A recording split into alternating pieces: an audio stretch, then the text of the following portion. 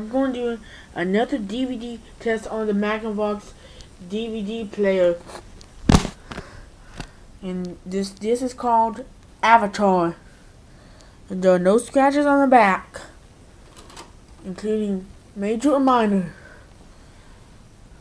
And let's use the last button. Eject.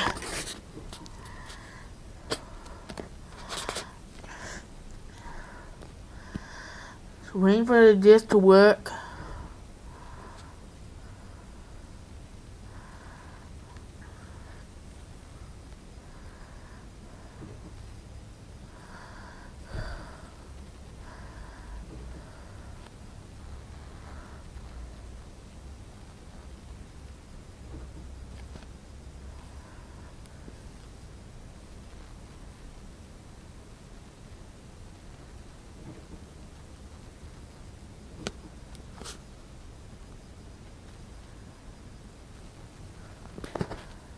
And the DVD player is here refusing to play disc.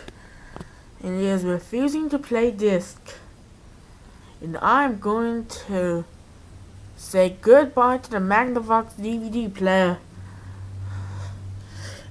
Because it's not playing any disc, whether it's good or bad. And plus it has ejecting problems. I'm going to turn the DVD player off and, and this is the end of the Magnavox DVD player.